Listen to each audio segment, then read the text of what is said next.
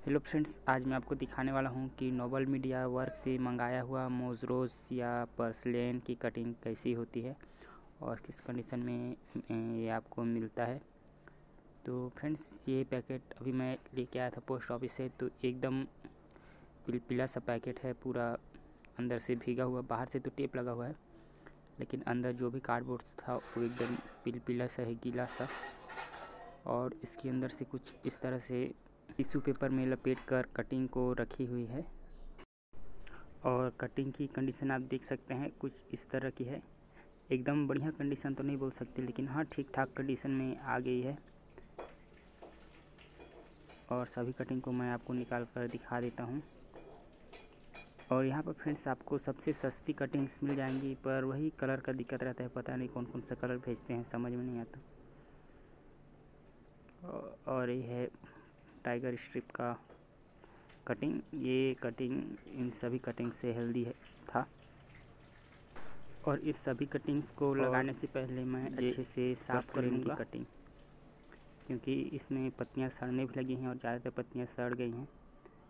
तो इसे अच्छे से साफ़ करके मैं लगाऊँगा। और सभी कटिंग्स को फ्रेंड्स मैं अच्छे से धोकर दो इंच तीन इंच की कटिंग कर लूँगा। जैसे आप यहाँ पे देख सकते हैं, जो भी बर्ड या फूल हैं उन्हें मैं काट के अलग कर लूँगा और जो कटिंग की लंबाई ज़्यादा है, इसे मैं छोटे छोटे हिस्से में काट लूँगा। जैसे वाला है तो इसे मैं दो हिस्से में कर लेता हूँ।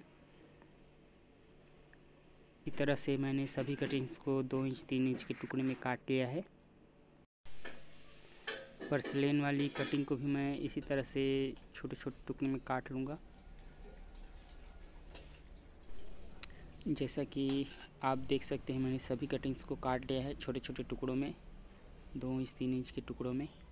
अब इसे और देखिए कितनी सारी गंदगी इसमें से निकली है और बहुत सारे पत्ते सड़ भी गए थे। और अभी कुछ बाकी हैं, इसको मैं बाद में अभी काट के साफ़ करूँगा। तो जो मैंने कटिंग कर ली है, उन्हें लगाने के लिए मैं मिट्टी उसमें रहेगा तीस परसेंट मिट्टी, तीस परसेंट गोबर खाद और बाकी रेत।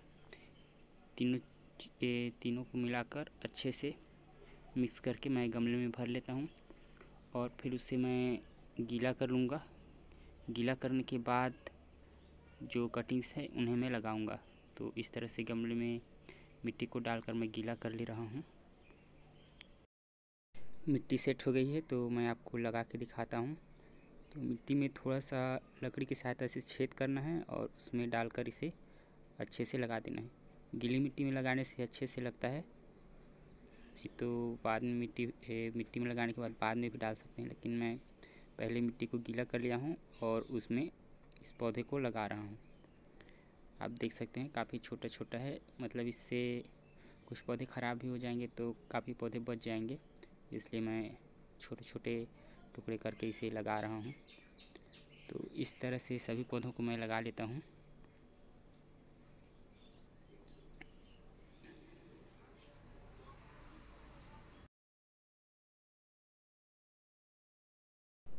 और लगाने के बाद तीन चार दिन में ही आपको दिखने लगेगा कि पौधे में ग्रोथ शुरू हो गई है, जो नई नई डालियाँ इसमें से निकलने लगी हैं। और इस तरह से आप बड़ी आसानी से लगा सकते हैं काफ़ी अच्छे तरीके से। कुछ दिनों बाद जब ये पौधे थोड़े बड़े हो जाएँगे, तब मैं इनकी और कटिंग्स काट कर दूसरे गमलों में या मिट्टी में लगाकर इनसे और पौधे तैयार कर लूँगा। तो इस तरह से आप नोबल मीडिया वर्क से पौधे मंगाकर इसे अच्छे से ग्रो कर सकते हैं। तो बस फ्रेंड्स, आज का वीडियो यही था। फिर मिलेंगे किसी दूसरे वीडियो में। तब तक के लिए बाय बाय।